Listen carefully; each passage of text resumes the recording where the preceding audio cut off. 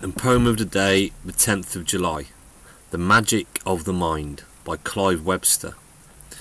In yesterday's poem, if you remember, the narrator wanted to travel far away.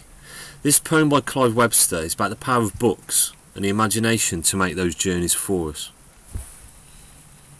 I've read in books of magic lands so very far away, where genies pop out of lamps and magic creatures play, where wizards weave their magic spells and dragons breathe out fire, where just one wish gives young and old their every heart's desire. Those lands, of course, are just in books, but if you try real hard, those magic places come to life right in your own backyard.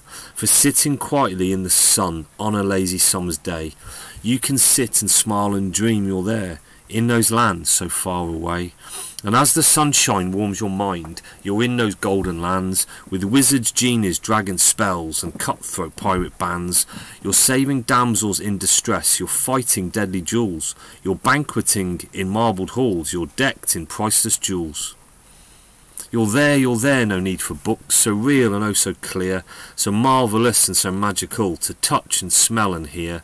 Just sitting there in golden sun, you leave your cares behind and go to magic places in the magic of your mind. You show me a child that reads a lot.